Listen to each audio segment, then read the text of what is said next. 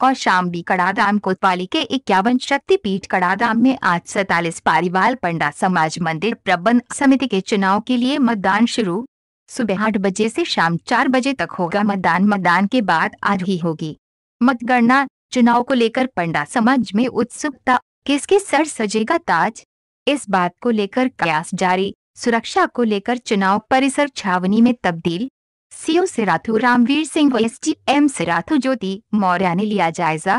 थानाध्यक्ष अशोक कुमार सुरक्षा व्यवस्था में मुस्तैद कौशाम्बी से विकास कुमार गौतम की रिपोर्ट।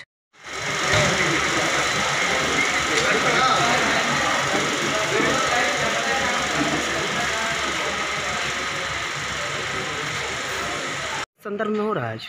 सैंतालीस परिवार पंडा समाज मंदिर प्रबंध समिति का चुनाव है। हर वर्ष की बात इस वर्ष भी हो रहा है। मंदिर व्यवस्था के संबंध में हो रहा है ये आज से नहीं।